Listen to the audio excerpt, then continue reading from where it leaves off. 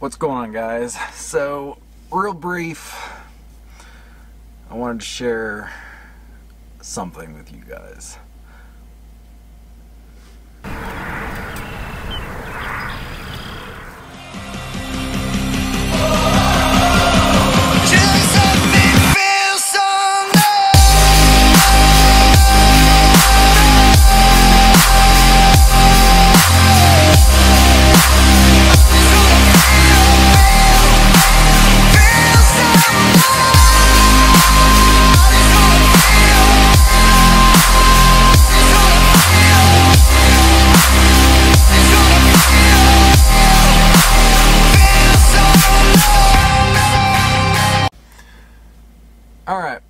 So we all know that um, it's dangerous being out on the road.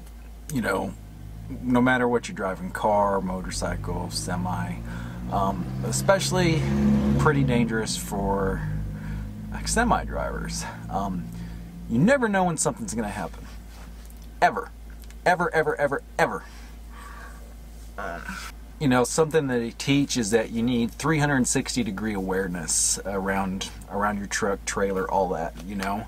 Um, you know who's in the lane next to you and all that you know? Um, two lane highways you're really watching because you're passing people pretty close back and forth etc etc See, one thing that I think a lot of us fail to really think or you know I don't think is really on our minds a lot is driving down the interstate. You know, we're we're really worried about who's around us going that same direction of travel and all that. But do we ever really, really think about who's going the other way? Because let's say you're going eastbound, and then you've got these other guys coming westbound. You know, do you ever think about who's on the other side of the median at all? You know, I'll be honest, I watch them. I, I never think anything could happen. Well, um, today, well, today, yeah, there was there was a really close call. Um, you know what? Let me just kind of roll the clip. Um, you see it for yourself. This is off the dash cam, not off the GoPro. Um, so I really wasn't able to get, you know, I wasn't expecting anything. Um, and then we'll kind of discuss it a little bit afterwards. All right.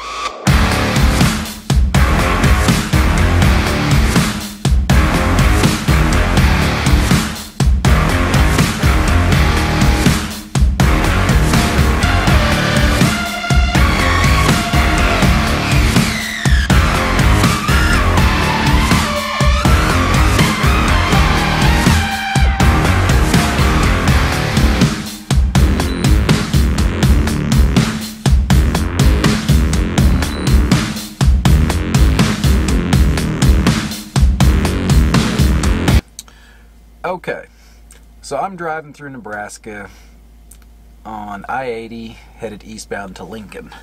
Um, I was almost to North Platte. I was about, uh, I was at mile marker 174, just to the west of North Platte, um, two, three miles. So I'm just driving along, you know, sitting in the right lane, minding my own business. Um, you can see them two trucks were ahead of me. Um, I had trucks coming up back behind me a little ways. I had a car that was coming up, getting ready to pass me uh, shortly. Well, I look over in those westbound lanes, and I see these two oversized low, you know, oversized trucks, which you can see them in the clip. Can't see it great. Okay, so I see those oversized guys, and I see this blue Freightliner in the hammer lane going to pass them. And I'm sitting here saying, man, he's kicking up some dust, you know. He was obviously riding the actually rumble strip on the left shoulder, you know, uh, inside shoulder, uh, pretty close.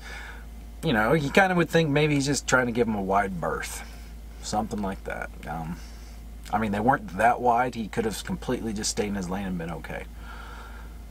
Well, I'd be whatever you want to say, and as I start getting closer, I'm like, um, he, he's not staying on the road.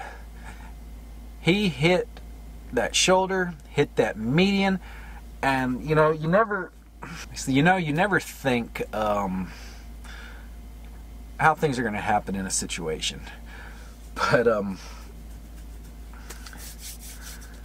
I mean, time slowed down when he hit that median, and I'm telling you, I, it's like I had eye contact with this guy, and I'm like, what do I do? I'm cruising at 72 miles an hour. He's he's flying, you know. He's he's he's full speed balls to the you know the wall.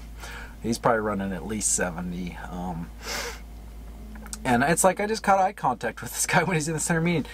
I don't know what happened. I don't know if he was something was wrong with him, medical issue. But when I saw him, that that cat was two hands on the steering wheel, sitting straight up in the seat, just like he's on a Sunday drive.